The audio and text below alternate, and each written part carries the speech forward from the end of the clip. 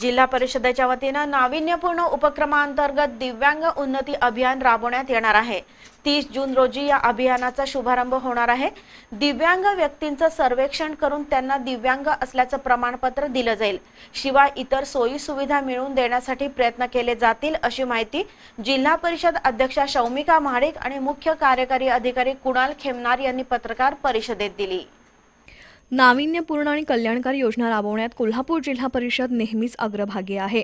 राजर्षी शाहू महाराजांच्या जयंतीचं औचित्य साधून दिव्यांग उन्नती अभियान हा नाविन्यपूर्ण उपक्रम कोल्हापूर जिल्हा परिषद राबवणार आहे. तीस जून रोजी या उपक्रमाचा शुभारंभ होणार आहे. दिव्यांग असल्याचं प्रमाणपत्र मिळवताना त्या व्यक्तींची अक्षरशः दमछाक होते. त्यामुळं पहिल्या टप्प्यात दिव्यांग व्यक्तींचं सर्वेक्षण केलं जाणार आहे. दिव्यांगांची ऑनलाईन नोंदणी करून ज्यांच्याकडे अपंग प्रमाणपत्र नाहीत अशांना प्रमाणपत्र देण्यासाठी प्रयत्न केले जाणार आहेत. त्यासाठी सी पी आरसह ग्रामीण रुग्णालयात विशेष शिबिरं घेतली जातील. त्यानंतर दिव्यांगांना सर्व प्रकारच्या शासकीय योजनांचा लाभ मिळवून दिला जाईल. तसंच जिल्हा परिषद आणि ग्रामपंचायत स्तरावरून दिव्यांगांसाठी राखीव असलेल्या तीन टक्के निधीचा योग्य प्रकारे विनियोग केला जाईल. दिव्यांगांना आवश्यक उपचार आणि साहित्य पुरवण्यात येणार आहे. एकूणच दिव्यांगांचं जीवनमान उंचावण्यासाठी जिल्हा परिषद जाणीवपूर्वक प्रयत्न करणार आहे.